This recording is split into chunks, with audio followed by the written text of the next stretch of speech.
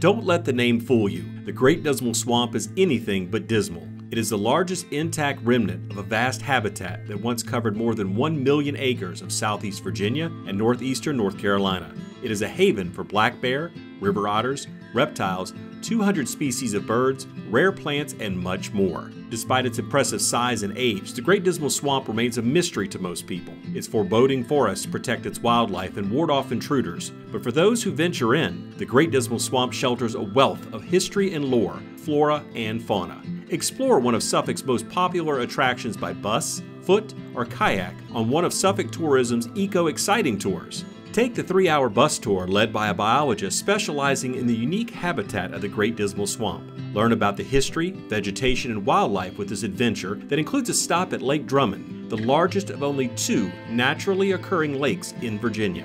Looking to get a more up close and personal experience? Try a guided nature walk of the Washington Ditch Boardwalk and meander through a portion of the swamp's habitat once surveyed by George Washington. Experience the unusual and breathtaking Lake Drummond on a two hour kayak excursion. Paddle past great cypress trees rising from the still, shallow waters of this 3,108 acre bowl shaped lake. For more information or to reserve space on the next adventure, contact the Suffolk Visitor Center at 757 514 4130 or visit SuffolkVA.com.